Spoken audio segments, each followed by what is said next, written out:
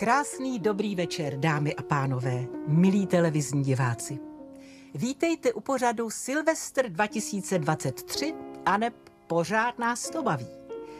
Dnes, poslední den v roce, jsme pro vás připravili výběr toho nejlepšího z televizní zábavy za posledních 70 let. Ano, právě před sedmi dekádami začala tehdy ještě československá televize vysílat.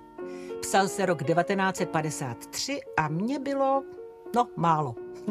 Dnes už mám o pár let i od vysílaných pořadů a dílů kalendária navíc. A tak si dovolím říct, že obstát na tomto světě celých 70 let, jak se to podařilo právě této stanici, je úctyhodný počin.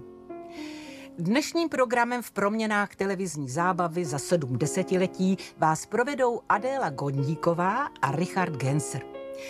No a mě už nezbývá, než vám, milí diváci, popřát báječného Silvestra a české televizi mnoho sil a úspěchů do dalších desetiletí.